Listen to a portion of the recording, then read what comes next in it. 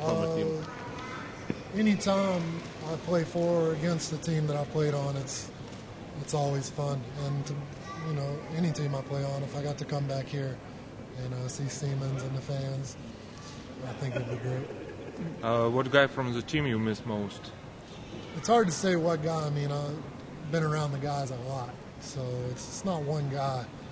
But I'll miss the guys I've known for two years. Uh, you know, of course, Marius I've known a long time, but uh, Minda, Yomar, you know, all those guys. It's two years of knowing somebody is uh, it's going to be hard.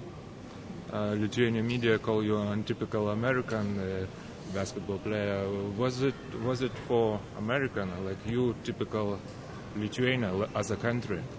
Yeah, it's it's nice. I mean, I don't know. I've been to two other countries so far, and uh, Lithuania has, you know, it's just as nice, has nice things. Uh, so for me, Lithuania was uh, a lot of fun. What will you remember the most?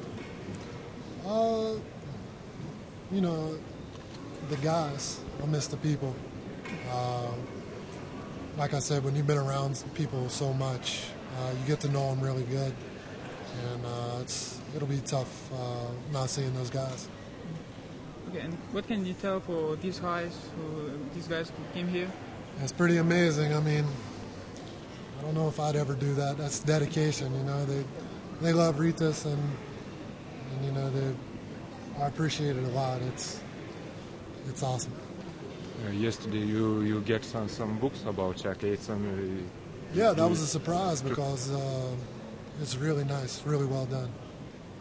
did you took some some books with yourself? Yeah, they send me 150, so I, you know, add it to my baby stuff and we'll take home. And your holidays will be in where? Uh, Charleston, where I live, is a wonderful place All summer. all summer. Okay, thank you. No Good luck.